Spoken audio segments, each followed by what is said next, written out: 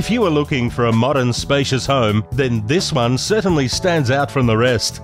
Only five years old, this quality five bedroom low set home is built on a massive 1,179 square metre block.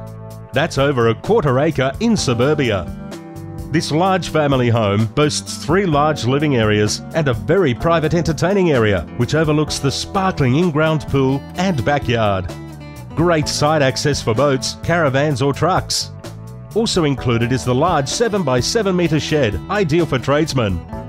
Located in the leafy suburb of Algester, only 16 kilometres south of the Brisbane CBD, this property is within walking distance to the local schools, shops, public transport, and parkland.